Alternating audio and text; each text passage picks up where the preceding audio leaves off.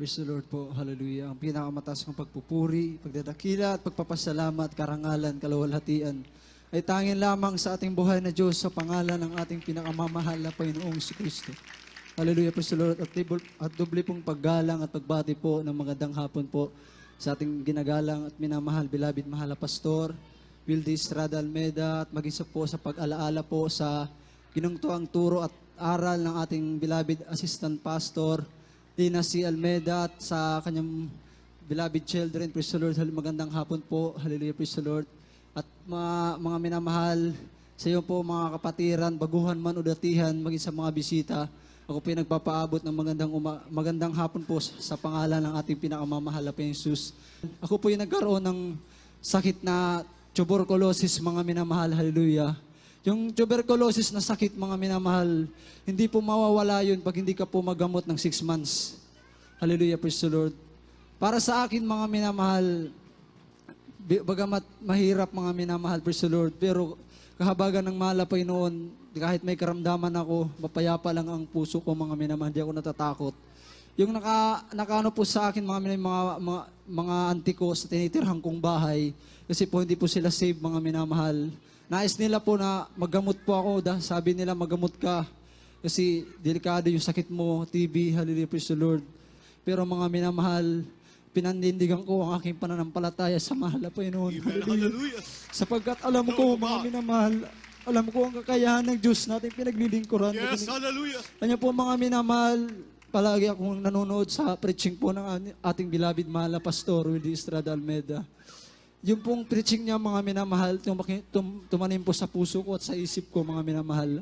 Kasi sabi po ng mga mga auntie ko, mga uncle ko, pag hindi ka magamot, delikado ka, sabi niya sa sabi niya sa, sa akin. Kasi alam nila yung TB, alam nila yung sakit na TB, mga minamahal. Hallelujah po. Alam niyo po mga minamahal, yung salita ng beloved mahal na pastor, sabi po ng beloved mahal na pastor, kahit mawala ang lahat ng bundok dito sa mundo, ikaw na nagtitiwala sa na Panginoon, hindi ka mapapahamak sa pangalan ni Jesus. Yes, amen, hallelujah. Ayun po mga minamahal, Oh, yung salita na yan, pinandigan ko po yan mga minamahal, hindi pa ako naggamot.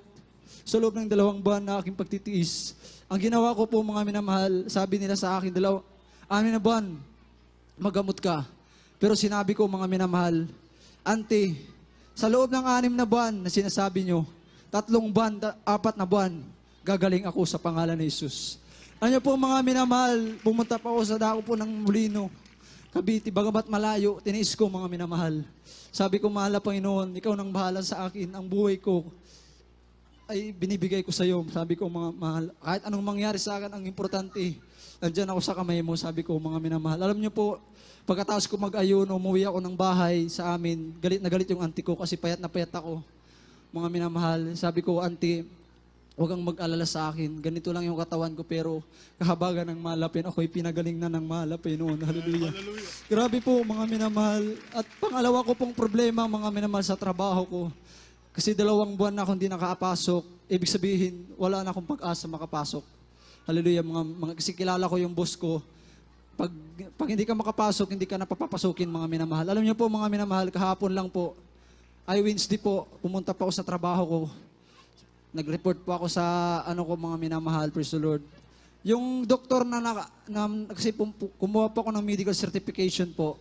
Hallelujah, praise the Lord. Yung doktor na yun nag, nag-ano sa akin, yung sinulat niya doon, ayaw niya, ayaw niya akong papasukin. Kasi nga, sabi niya sa akin, hindi ka pwede pumasok kasi yung TB mo, hindi mo, hindi mo pa nagamot, hindi ka, pa, hindi ka nagamot eh, sabi niya sa akin. Sabi ko, Dok, ang mahal pa noon, wa- walang imposible sa kanya, sabi ko. Hindi lang naman, hindi lang naman gamot yung nagpapagaling ng TB ah. Sabi ko, ang mahal pa noon, siya yung gumawa ng langit at lupa, bakit hindi niya magagawa yun? Alam niyo po mga minamahal, kahabagan po ng mahal pa noon, yung medical certificate na yun at saka yung result ko, TB talaga yung sakit ko. Yung sinulat ng, T- ng doktor na yun, hindi ako makakapasok. Pero ang ginawa, mga minamahal ng mahal pa noon, grabe. Sabi, nanalangin po ako, inilians ko po yung result ko. Sabi ko, mahal na Panginoon, ikaw na pong bahala sa akin. Ikaw na po yung bahala sa aking pag, sa pag-report ko sa boss ko. Alam niyo po mga minamahal, punta ko ng trabaho ko, tin- tinawag ko ng boss ko, sabi niya sa akin, Ner, nasa na yung mga papilis mo. Binigay ko po sa kanya mga minamahal, tinignan po ng boss ko. Ti- Tumitingin niya, ti- tinitingnan niya mga minamahal. Sabi ko, sabi, sabi niya, sige, pwede ka na makapasok. Sabi ko, boss, kailan po? Sabi, sabi niya, bukas mismo pumasok ka na. Grabe mga minamahal, napakabuti po ng malapi noon. At pangatlo po, mga mina, pangatlo po, sabi ko malapi noon, sub na po yung problema ko. Isa na lang yung problema ko. Pamasahe ko pagpasok sa loob ng isang linggo. Wala akong pera, wala akong income, mga minamahal. Alam niyo po, grabe ang malapi noon. Basta magtiwala ka lang sa malapi noon. Hallelujah. Hallelujah. Purihin ang mahal na Panginoon, mga binabal. Grabe. Dalawang buwan pa lang ako nakapasok. Grabe ang pagpapala ng mahal na Panginoon. Hindi ko po alam, mga minamahal, na magbibigay na yan na po ng 13-month pay, mga minamahal. Sabi po ng mga katrabaho ko, grabe ka, Ner. Tinimingan mo lang. Dalawang, buwan, dalawang araw ka pa lang. Naka-8 mil ka na. Grabe ang pagpapala ng mahal na Panginoon. Hallelujah. Sino hindi maglilingkod sa mahal na Panginoon? Mga minamahal sa kas- kasagsagan ng karamdaman ko, minsan umiisip sa, naisip ko na, pinagkikinggan pa ba ako ng mahal na Panginoon? Ngunit mga minamahal, kahit ano mang mangyari sa buhay natin, andyan palagi ang mahal na Panginoon. Andyan palagi siya. Basta magtiwala ka lang at sumunod sa propeta ng mahal na Panginoon. Hallelujah. Kaya mga minamahal, halo hanggang dito na lang po ang lahat ng pagpupuri, pagpapasalamat, pagluluwalhati at pagsamba ay tanging lamang sa ating dakilang Diyos na buhay sa pangalan ni Jesus.